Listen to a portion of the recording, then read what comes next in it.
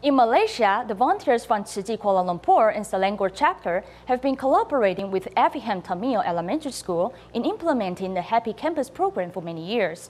Besides providing the students with subsidies, they also promoted the acts of giving to encourage them to help the needy. What follows the joyful laughter is the touch moment. The volunteers encourage the children to express their gratitude through cards.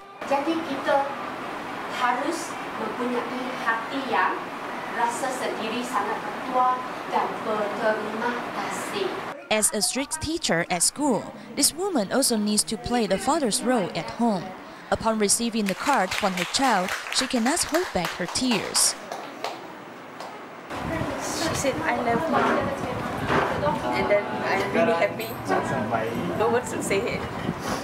Besides saying thanks, the volunteers also share with the children the story of the bamboo coin banks to cultivate their compassion since youth. I like the policy, you know, the Tzu Chi policy that you, I mean, if you receive some help, the same time you help somebody else, that uh, bamboo bank.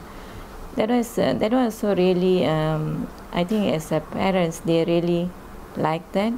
They just help, not much, but uh, they're really giving a contribution. The Happy Campus program lessens the burden of impoverished families. The volunteers work with the schools to provide the children with humanitarian education as well as shape their moral characters.